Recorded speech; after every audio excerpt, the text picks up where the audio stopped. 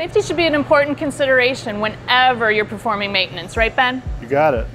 So let's say we've got a situation where we're going to be needing to lock out a piece of electrical equipment. What tips do you have to make sure that we keep our employees safe? Well, you want to make sure first and foremost that this is only being done by a qualified electrical worker. You also want to make sure that you aren't opening anything up that hasn't had an assessment for shock and arc flash hazards. Without those assessments, you won't know what kind of hazards you're standing in front of when you open up that piece of equipment.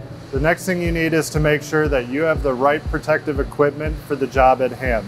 That could include use of a protective face shield, insulated gloves, insulated tools, arc-rated clothes like the shirt I'm wearing, and a verified working voltage meter. So how do you go about verifying that you have a working voltage meter? That's a great question.